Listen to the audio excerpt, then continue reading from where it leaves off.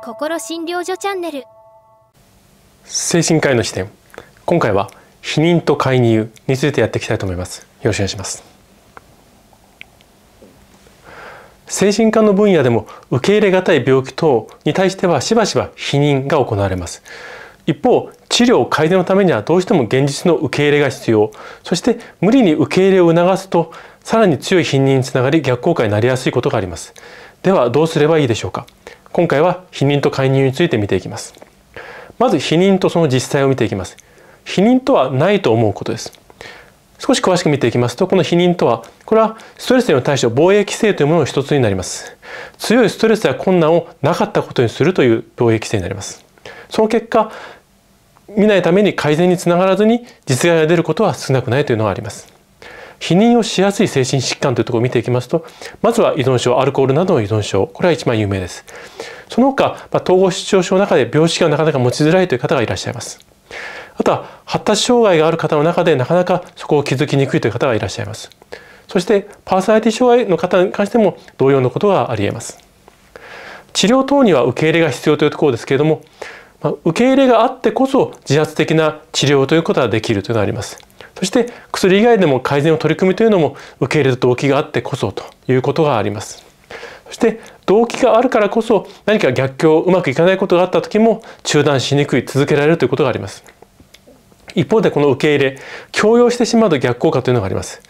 こういう受け入れが必要という中で外から良かれと思ってご本人さんに受け入れを強要を求めてしまうということがあります。しかしそうすると多くは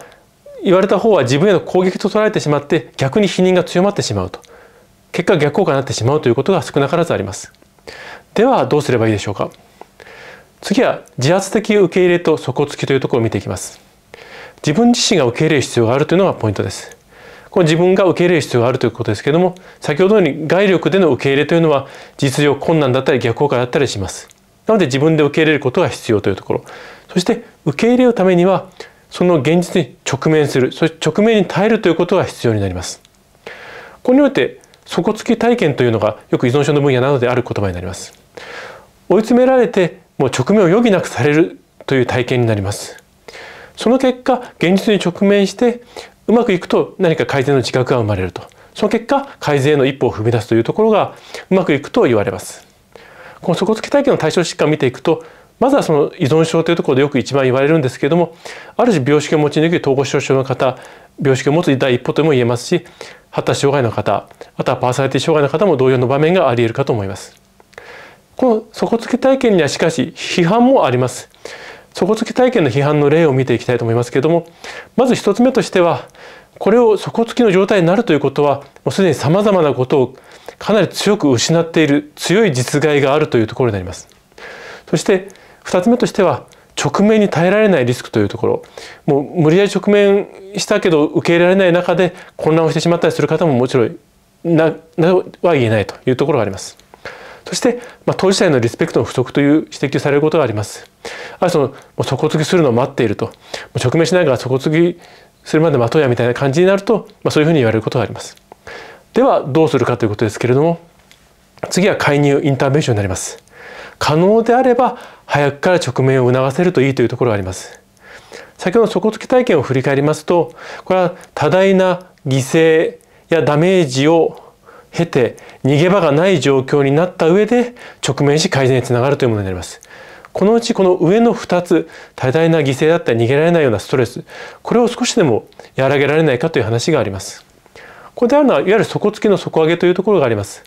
まあ、直面はするんだけども負担を減らせないかという話です。具体的には、まあ、教養ではない介入を通じて追い詰められる前に直面を促して結果多大な打撃を減らしつつも直面を目指すというところになります。このキーワード大事なのが介入というところになります。この介入の要点を見ていきますけれども教養ではなくて相手の人格パーソナリティは尊重しつつもでも間違った行動に関しては冷静に指摘をしてその変化を促すというところになります。アルコール依存症の例で少し要点を見ていきますともうその依存にで苦しんでるあなた自身の存在は非常にリスペクトしますと。ただお酒の問題があって今苦しまれているというところ。その解決のために何とか専門の治療を受けてほしいと、まあ、こういったふうに介入することがあります。他互いに伴う互いを伴う発達障害等の方の場合の例を見ていきますとそれでもやっぱりあなたの存在というのは別もうリスペクトできるところがありますと。ただあなたの行動というのが相手を苦しめている。相手の存在をちょっと苦しめてしまっていることがあると。ということがあるのでその行動に関してはやめてほしいと。いうふうに促す場合があります。介入の仕方の要点を見ていくとまずは相手を否定せずにリスペクトを持って介入するというところ。そして2つ目としては否定的な感情は混ぜずに冷静に穏やかに伝えるというところ。そしてその一方で何が問題になっているかどういうふうに改善をしてほしいかというところに関しては